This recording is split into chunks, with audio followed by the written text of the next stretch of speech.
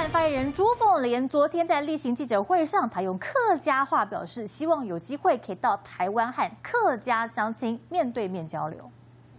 赶在农历春节前，大陆国台办举行例行记者会，国台办发言人朱凤莲说起客家话拜新年，试图与台湾民众拉近距离。希望大家无论红爱过年，无论用哪种方式，都可以同加多人讲一声新年好，爱安，新的一年，爱等一下。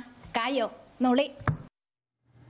陆委会昨天有回应啊，他说我们欢迎朱女士在适当的时机访台。不过我们看到两岸关系最近是陷入僵局之中啊，这适当的时机到底什么时候会出现呢？还是双方只是在高来高去而已？宝珍怎么看？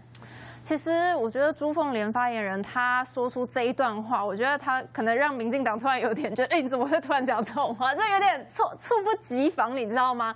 因为。民进党如果说他回应的是，哎，我不欢迎你来，那他那个格局就不见了，高度也不见了，所以他必须这个。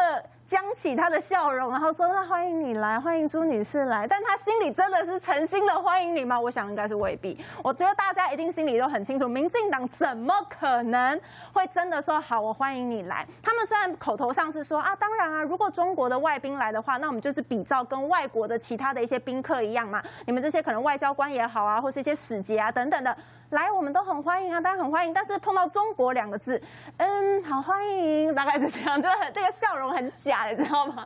但其实说老实话，我觉得朱凤莲她这一招蛮神奇的，而且你看她在讲的那个方式，的确可能会让人觉得，哎，你好像跟我的距离好像没那么远，因为她用客家话去讲。那当然，因为我们的客家乡亲也很多，所以大家就会觉得，哎，你好像跟原本我所想象的，好像又有一点点不太一样，可能就会听一下他讲的话，那他可能又面带笑容，然后跟大家说一些新年快乐，大家就会觉得那个感受是不太一样的。所以说，我觉得民进党他现在是陷入一个僵局哦。如果假设他后续上真的认真想来的时候，那民进党政府到底会不会真的让他来？当然，他们现在已经开始在打那个预防针。我有看到，他们就说：“那好啊，你如果要来的话，可以。那请你们的这个共机不要再来扰台了。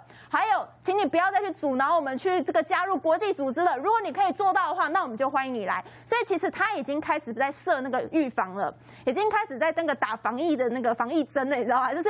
假设他做不到这件事情，攻击持续扰台，那如果他要来的话，民进党政府他就可以非常大声的说：“我不欢迎你来，因为你的攻击还是在扰台。”你这样对我们的话，感觉还是没有很善意。